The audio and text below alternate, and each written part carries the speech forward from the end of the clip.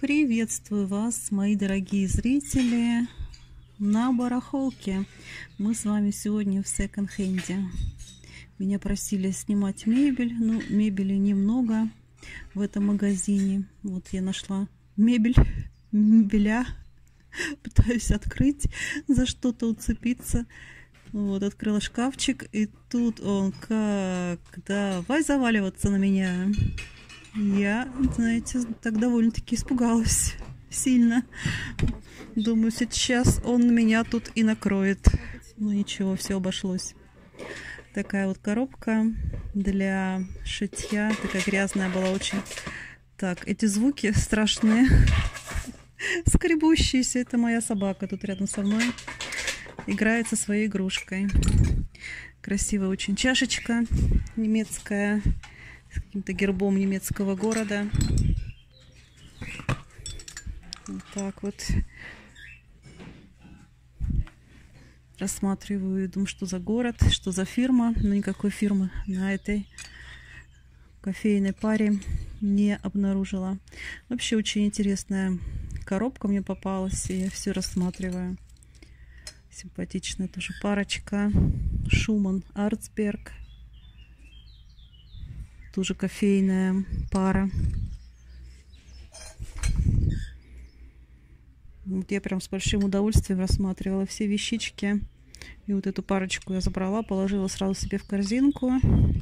Я, так знаете, как орлица над гнездом, над этой тарелкой, чтобы никто не подошел тоже ко мне, знаете, так это делала такой вид, чтобы никто... Потому что я принято, знаете, раньше было такое принято, что если ты в какой-то коробке что-то ищешь, то к тебе уже человек не подходит, а сейчас к тебе может подойти человек и прямо из-под рук у тебя из этой же коробки, в которой ты что-то ищешь, выхватывать какие-то вещи. То есть это вот влияние последних буквально, наверное, года-двух. Сейчас так делают люди. Ну, я так не делаю, если честно. Вот эти подставки стеклянные, ну, довольно-таки часто мне встречаются под бокалы. Такие хорошенькие, там фрукты такие объемные на этих тарелочках. И вот и про эти свечки мне как-то говорила моя сестра, что она хочет купить свечки на батарейках. И я в этот раз вот прямо... Вот только мы с ней поговорили на эту тему, на эти, насчет этих свечек, и я их тут увидела в магазине. Прямо набор из трех свечей и я решила их э, взять себе. Вот, а я уже их испробовала, но они на самом деле так горят интересно, как настоящие свечи, даже немножечко так э, мигают, то есть полностью создается иллюзия настоящей свечи, но нет вот этого запаха свечного, и, естественно, они не опасные. Даже если ты вдруг задремлешь вечером, то ничего не случится. Такая вот свинюшка, такая хорошенькая, но, к сожалению, у нее только одно ухо было. Вот это ее крышечка задняя, чтобы вынимать монетки. Такая расписная, синяя, деревянная. И такие вазочки мне встречаются тоже довольно-таки часто, разного размера, и совсем маленькие крошечки, и побольше. Вот эта деревянная баночка тоже такая интересная была. 70-е, думаю, может быть, даже конец 60-х. И вот эта вот керамическая баночка, имбирная банка называют такого типа баночки. По-моему, польская она. Керамическая. Ну или для чая их используют. Но вообще такого типа банки называют имбирными банками. И рюмочки разные там были много, самых разных рюмочек, всех размеров и фасонов. Вот это тоже такое, ножка такая синяя и переход в прозрачное стекло.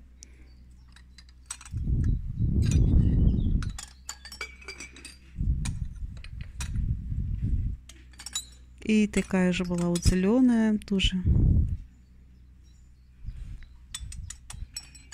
И вот такие мне тоже очень нравятся всегда. Это как бы сувенирные, сувенирные рюмки с какими-то гербами, названиями городов. Всегда мое внимание не привлекают.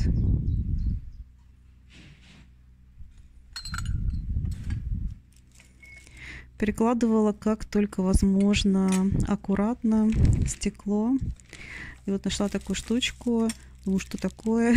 Потом до меня дошло, конечно же, что это рамка для фотографии. Но у нее такая интересная обратная сторона, черная, бархатная. И я подумала, что на ней, на этой рамке можно будет показывать какие-то украшения. Не знаю, получится у меня это или нет. Но мне кажется, и форма такая вот э, изогнутая, мне кажется, будет хорошо показывать какие-то брошки или серьги на этой рамке. И вот этот наборчик мне прям очень понравился. Прям я в него влюбилась. Цветовая гамма и сама форма фарфора. Это сахарница и молочник. Просто милейший. Милейший набор.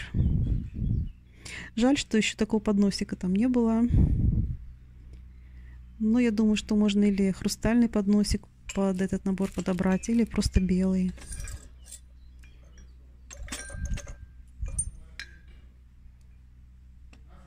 Ну, пивная кружка. Показалось сначала, что она такая довольно старая, но потом я как-то засомневалась. Из кружки выпало, выпало что-то. Я посмотрела, это камешек. Наверное, кто-то из отпуска привез камешек. Как мы все часто это делаем. Собираем камешки, ракушки где-то на пляже. Привозим домой из отпуска. Да, когда только эти отпуски опять у нас начнутся. Как же хочется, как никогда хочется в отпуск. И вот это такая прям легкая-легкая чашечка. Рисунок незамысловатый. Тоже вот одна такая чашечка там была. Ну, интересная коробка.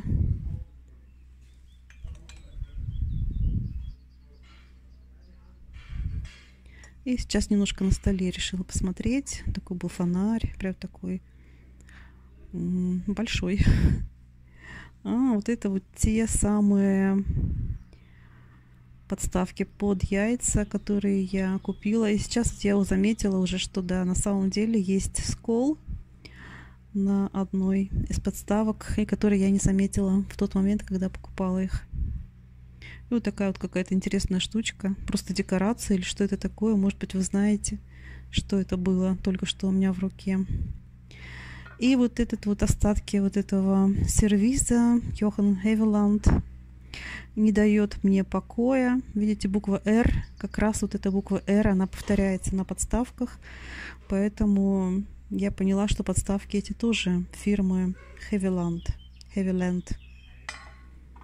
Вот эти подставочки, видите, вот та же самая буква R, которая повторяется в большом, э, в большом клейме.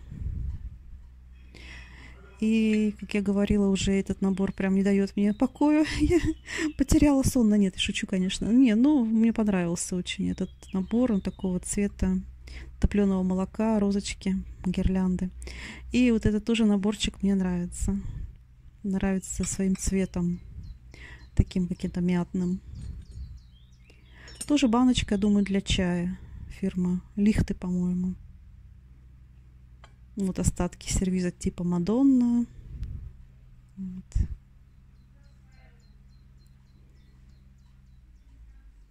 Такой вот альбом э, с, с отдельными страницами сказок. Видно, надо самим составлять книжку, что ли, как-то так, из этих страничек.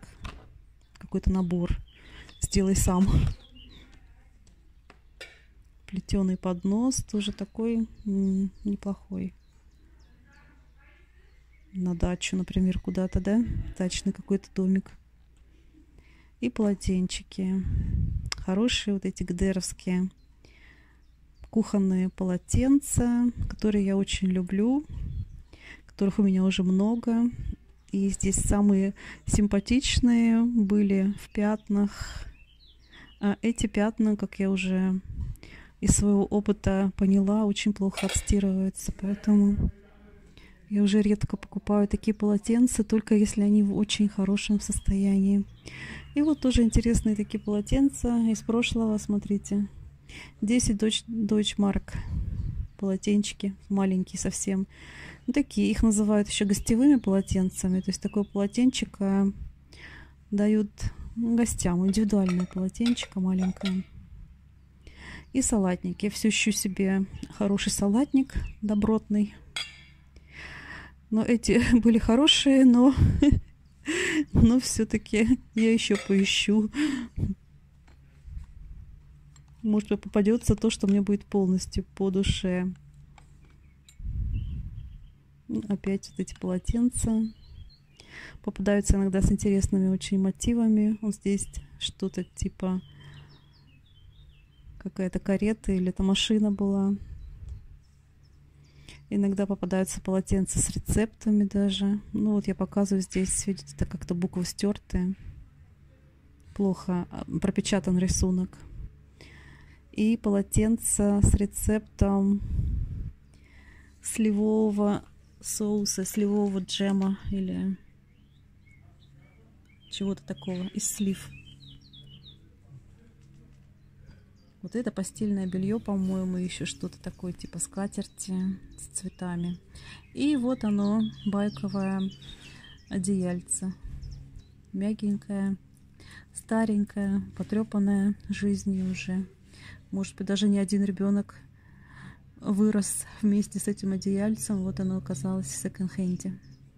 И вот такое вот бумажное яйцо картонное.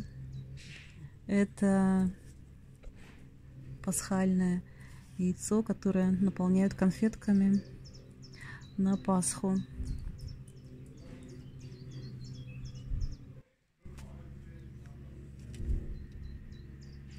Какая-то коряга что ли. Тоже кто-то сам, наверное, сделал, покрасил лаком коряга в виде какого-то животного. И кошелечек. Что же в кошелечке-то лежит у нас? А в кошелечке набор швейный, дорожный. Вот он, кошелечек какой.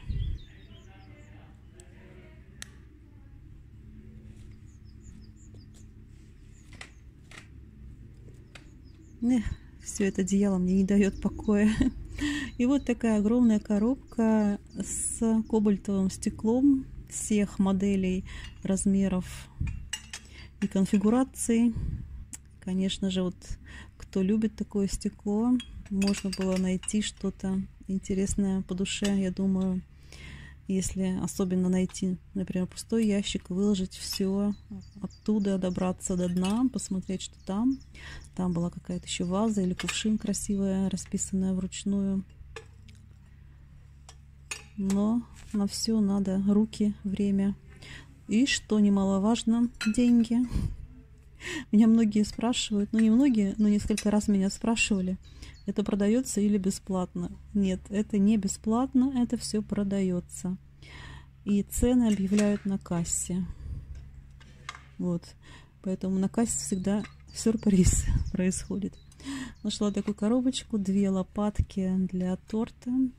Довольно-таки старая, особенно вот эта первая с костяной ручкой. Но видите, половины ручки не хватает. Половина ручки просто отломилась. Остался стерженек.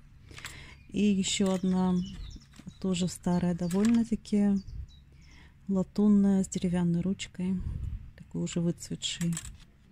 Но я думаю, что даже можно залакировать такую ручку еще, в принципе, по желанию. Ну, я так думаю, что кто-нибудь забрал эти вещи. А мне понравились вот эти. Понравился набор э, из тикового дерева и стали. Для, набор для салата. Такой прям стильный. И увидела, что фирма очень известная Солинген, немецкая. И решила, что надо взять такой наборчик. Потом заметила еще одну коробочку там. Фирма Мартин. Опять же, эта фирма изготавливала, и сейчас изготавливают при, приборы столовые. Тоже очень известная и довольно-таки дорогая вот эта фирма. Вилкинс и сын или сыновья. Может быть, вы слышали. Это тоже такой стильный набор для закусок, для подачи закусок.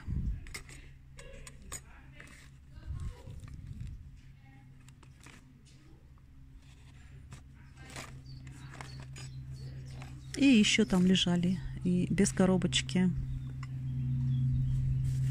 набор лежал для салата. Опять интересная коробка с разным стеклом. Фарфора не очень много. Вот такая вот польская чашка, по-моему. Что-то или она одна и та же мне встречается постоянно, или просто они часто встречаются. Не знаю. Такая вот крышка и графин. Но графин э, не хрустальный, я думаю, я думаю, что это стекло, такое вот прессованное стекло.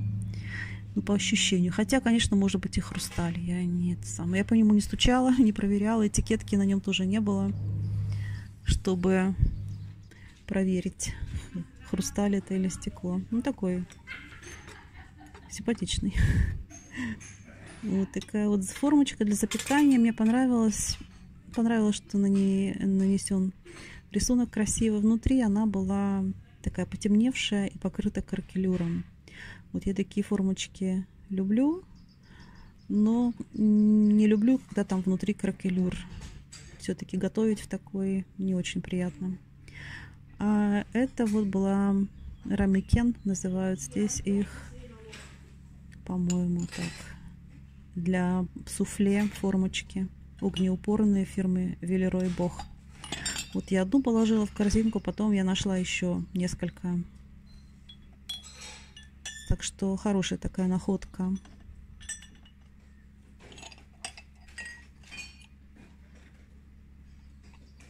И вот еще такая баночка керамическая, такая же, как та круглая форма.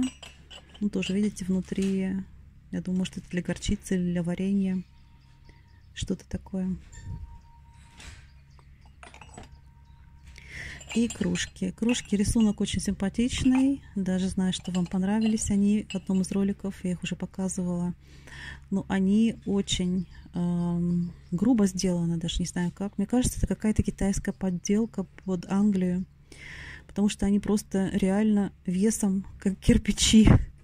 И очень толстые. Я думаю, это даже видно сейчас на видео, что это толстые такие кружки. Вот такая грубоватая подделка под Англию.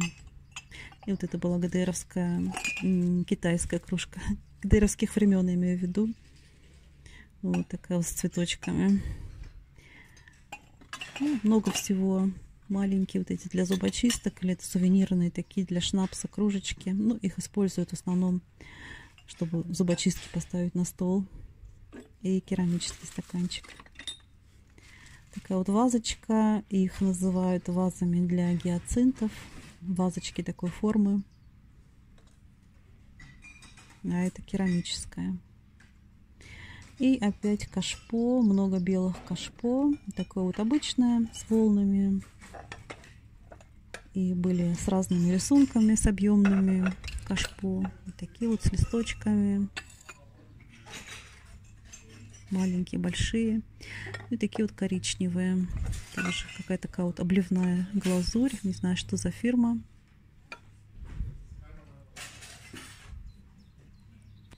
Одно такое кашпо и там а, и вот такая вот янтарная вазочка, но у нее были мелкие-мелкие такие сколы по краю, иначе бы я ее купила, потому что она мне очень понравилась янтарного цвета. И вот еще одно такое же кашпо я нашла. Ваза прямо такая на ножке. Красивая, но у нее был скол тоже.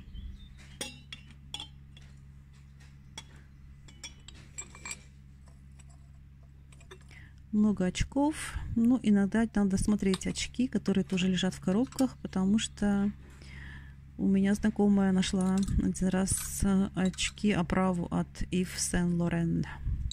тоже в такой коробке. Такая коробочка с какими-то парнями, наклейки. Думаю, о, что это такое? Но внутри ничего не было. Наверное, там какие-то карточки хранили или что, где-то, наверное, из 80-х годов. Что-то такое. Вот еще раз смотрю эту оправу. Что за оправа? Если вам понравилось мое видео, буду рада вашему лайку. Огромное спасибо за ваши комментарии, за ваши пожелания мне, которые вы мне пишете под моими роликами. Всем вам здоровья и до новых встреч. Пока-пока.